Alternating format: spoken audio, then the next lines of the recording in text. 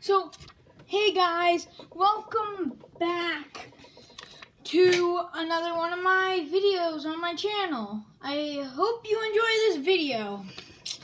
Today, you will hear about PewDiePie versus T-Series. I know what you're thinking, Team PewDiePie, but I, I'm not really on a team. But I know a lot of people want PewDiePie. So now we have PewDiePie versus T-Series. So this is the chart right here. So this is 2018. So you see how T-Series is bolted up. Okay, you saw that. So T-Series has gotten so many subscribers because they are an Indian YouTube channel.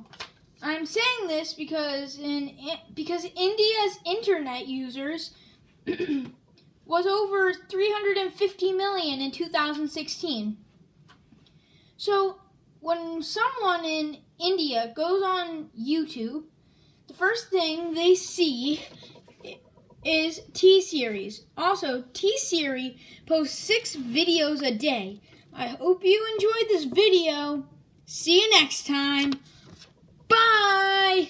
And remember to subscribe and give this video a big thumbs up and comment any more um, things you think about PewDiePie versus T-Series.